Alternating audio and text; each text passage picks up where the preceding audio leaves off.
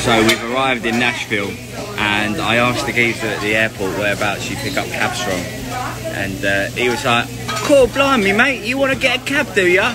And I was like, "Yeah, yeah, yeah." And then basically, he was so busy having a joke with me that um, he pointed me in a direction that I don't know if I was ever supposed to go there. Before I knew it, I ended up on like the motorway, and the motorways over here are huge, so.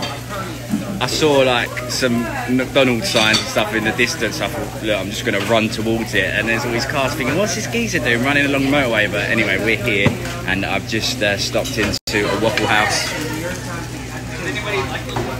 You vlog? Are you a YouTuber? I've done a bit of everything. Are you a vlog bell? Uh, I don't know what I'd quite call myself.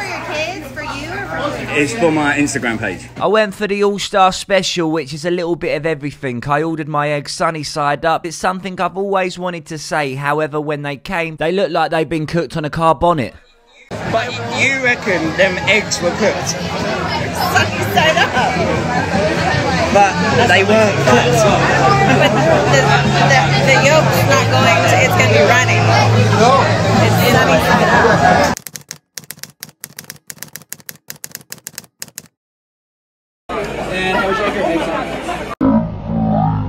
Over easy, please. Look, it's a bit of fun. Go get your Instagram picture and never return because it will most likely give you gastric problems. So just to give you some context, so that's the Bridgestone Arena. This is Matt rocking out to the uh, music.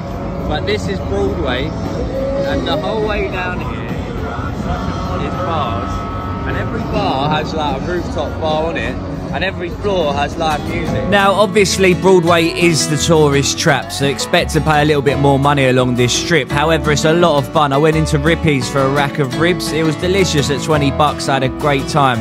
I also went over to Kid Rock's bar, and by this point, I was a little bit done with all the barbecue food, so I got a Caesar salad, and I'd definitely recommend this as well. This is Hattie B's. It's a chicken gaff, and uh, apparently it's really good. But the queue, it's like the Queen's funeral. So we we skipped it earlier at lunch because it's like it's too long. But it appears that the queue's not going down, so it must be worth it. And we're going to wait in line and find out. We are waiting for about 40 minutes until we decided, you know what, it's just not worth it. We've got Nashville to explore, baby. Don't want to just be standing in a queue all night. Excuse me, lads. We couldn't be bothered to wait anymore for the queue. Can you tell me what is it? Is it good? Oh my! What, what a fine gentleman.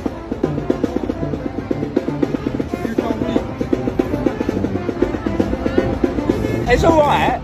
It ain't. It ain't all that, is it? You got better in London? Well, Chick Fil A's doing better than this, I think. No shot. No? You had a great time here? I haven't got my food yet. oh, right, there you go. Well, mate, thank you so much, man. It's really kind. I will say, it is a long, another long wait after you sit down. Right. Order. Wow. Thank you so much. So we finally made it in Hattie B's. I saw the queue wasn't that big and I thought I've got to come in. So here we go. That's really quite delicious. Crispy. Super crispy. Nice. Chicken. Which is lovely. And I'm not even, there's nothing to slag off about it.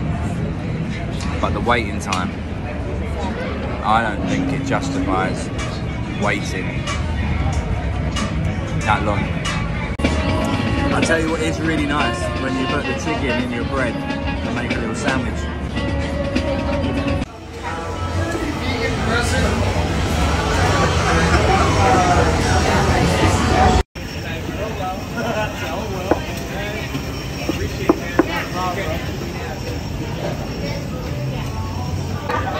And then I'm dying to try the apple just because it's so random.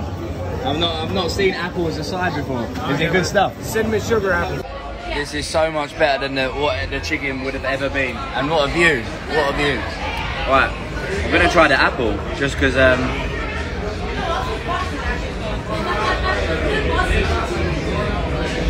I mean, it's absolutely delicious. It's cinnamon apple. I don't know why it's a, like part of the main and not dessert. Mashed potato and gravy in America hits differently, man. if you ever get asked, do you want gravy, just say yes.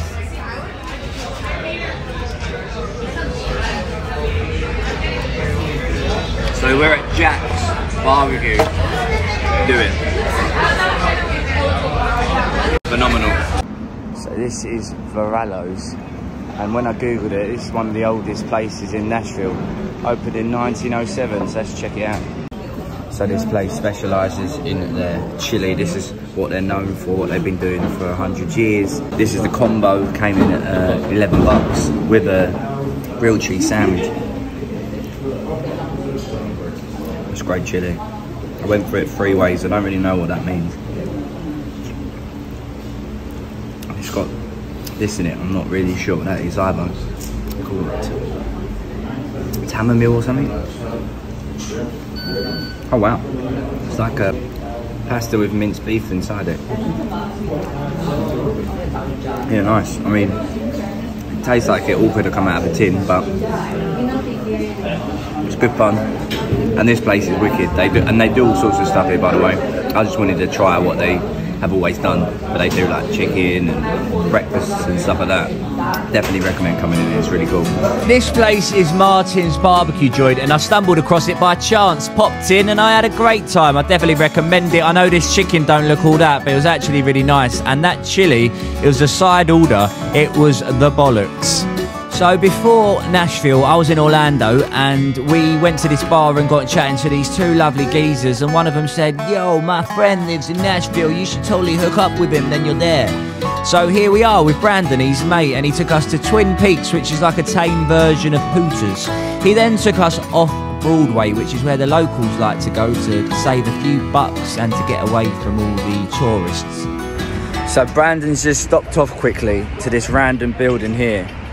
No, no signs or anything. You wouldn't even know it's here. But it's actually a speakeasy bar, just on the low key.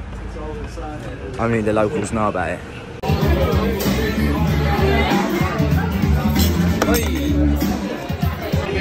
So we're just in this bar and they got madness going on.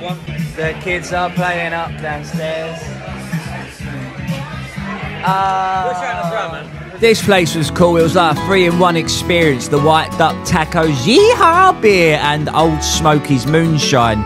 So, whatever you fancy, is here, and you can just sit back, enjoy the beverages and the food and the baseball. Shout out to America in general for having the iced tea on tap. I thoroughly enjoyed myself.